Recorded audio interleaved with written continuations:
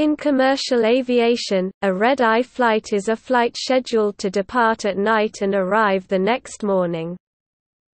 The term, red eye, derives from the symptom of having red eyes, which can be caused by fatigue or late-night travel.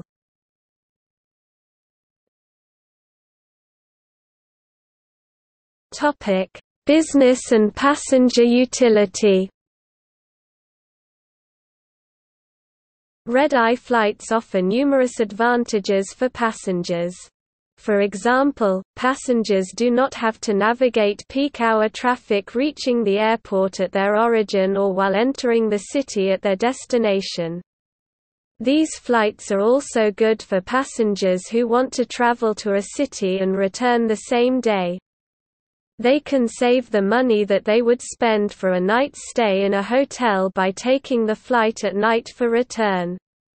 Furthermore, red-eye flights allow passengers to spend a full day at both their origin and destination, especially by giving them time to complete any important tasks at their origin before flying out at night. Because of this reason, red-eye flights are popular among business travelers who benefit more from flying at night than during the day. 1.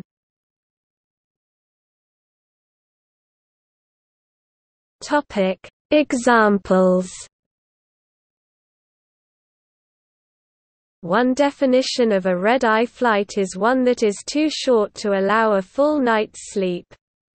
An example would be those flights from Los Angeles to New York City about 6 hours flying time, that depart between 2200 and 0100 will arrive between 0500 and 0700.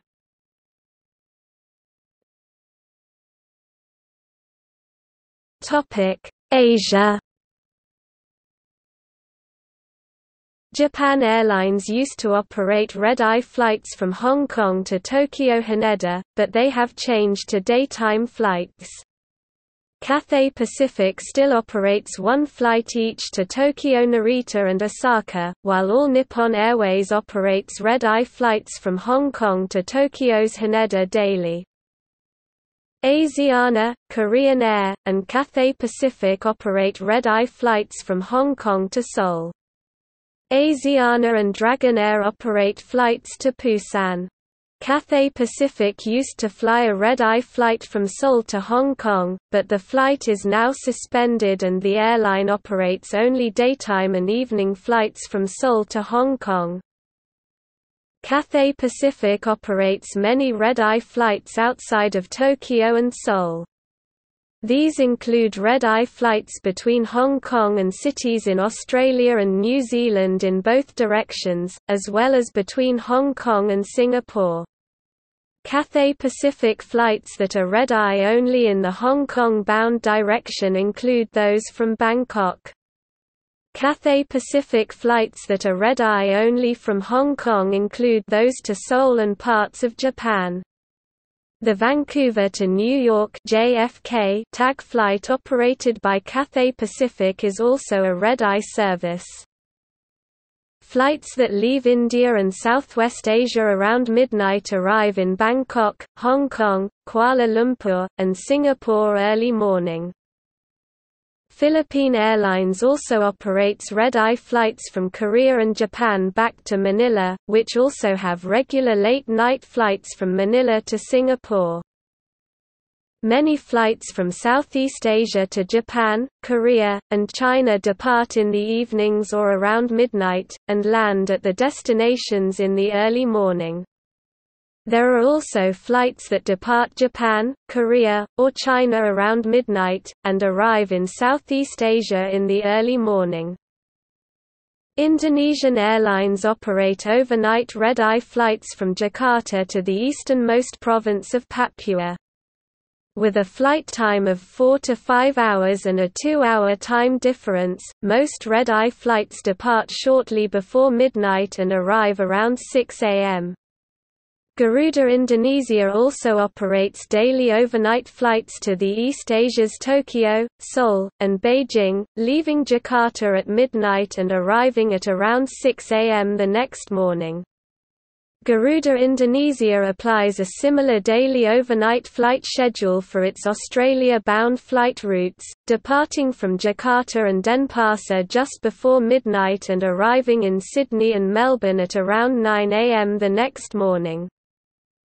Pakistan International Airlines flies red-eye flights to Lahore, Pakistan from Jeddah, Saudi Arabia. Turkish Airlines flies red-eye flights to Istanbul, Turkey from Male, Maldives.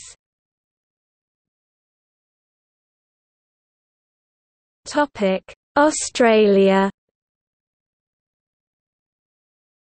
The majority of transcontinental flights are operated during the day, but as of 2010, red-eye flights operate from Perth to Sydney, Brisbane, Cairns, Canberra, and Melbourne, and from Darwin to Sydney, Brisbane and Melbourne.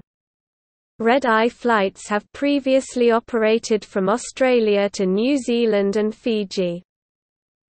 Red-eye flights to Australia operate from various locations in Southeast Asia and North America, such as Scoot's flights from Singapore to Gold Coast, Sydney, and Melbourne. Jetstar offers red-eye flights between Melbourne and Wellington with the flight departing Melbourne at 1 am and arriving in Wellington at 6 am. Another example would be Qantas flights from Los Angeles to Brisbane, Sydney and Melbourne, and flights from Dallas, Fort Worth International Airport to Sydney, generally leaving 10 p.m. to 11 p.m. and arriving from 5 a.m. to 8 a.m. While they do fly during the night, this is more a product of large time zone differences. The flights take around 15 hours, giving more time to sleep, and westward flight stretches out the local length of day and night. Furthermore, as the flight crosses the international date line, flights arrive roughly two days later in local time.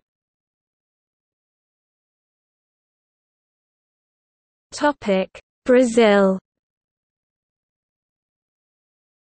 TAM Airlines, Azul Brazilian Airlines and Gol Transportes Aéreos offer red-eye flights, popularly known as Great Owl, because of a film session in a late-night broadcast by Rede Globo. Portuguese, Corujão flights in Brazil, with over 50 different routes throughout Brazil, all departing between 10 p.m. and 6 a.m. Usually these flights originate in Brasilia, Belo Horizonte, Campinas, Rio de Janeiro, Salvador, or São Paulo and are bound for Manaus, Belém, Porto Velho, northeast Brazil, North America, Argentina, and Europe. Topic Europe Red-eye flights to Europe were once meant to apply exclusively to the morning arrivals of transatlantic flights from the American East Coast to Western Europe. Such traffic now comprises the busiest of the long-haul air routes. The first of these flights, from the busiest destinations of New York and Washington, D.C., will arrive at the major European airports at London Heathrow, Frankfurt and Amsterdam before 0600 local time and when still subject to costly night flying restrictions, and hence in increasing numbers and to and from a wide range of American, European destinations. Traveling from Europe, are scheduled red-eye flights out of Madrid, Barcelona, Paris, Frankfurt. The flight time is of 3 to 5 hours, with typical departure around midnight, and arrival around dawn the next day. Most airlines from the Middle East and Asia operate red-eye services from major Western European destinations. One example is at London Heathrow, where the last departures, leaving between 22.30 and 23.00 are eastbound medium-haul services to destinations such as Moscow and Tel Aviv.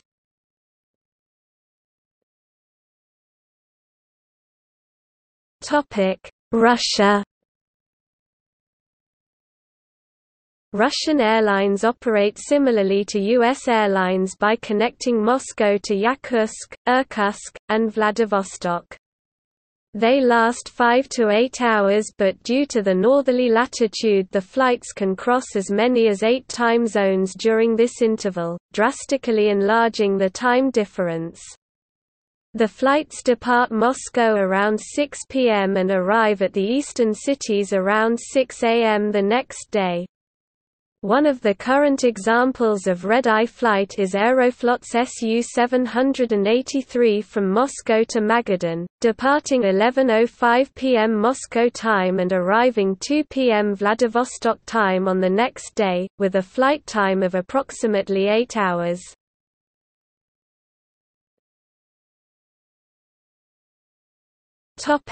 United States and Canada Red-eye flights frequently connect West Coast cities to East Coast cities.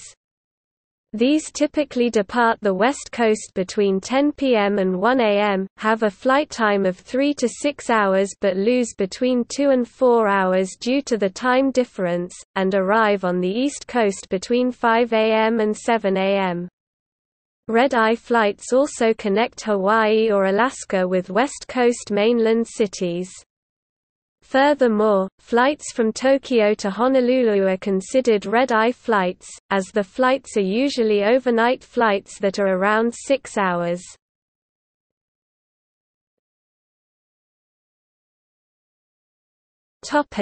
Historical availability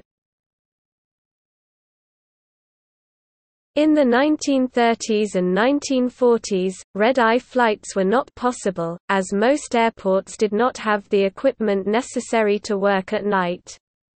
There are still airports that do not function after certain hours, or have curfews for noise reasons, limiting the number of airports from which red-eye flights can depart.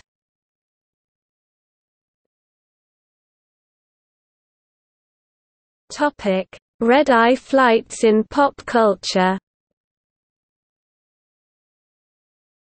Films involving red-eye flights include Airplane!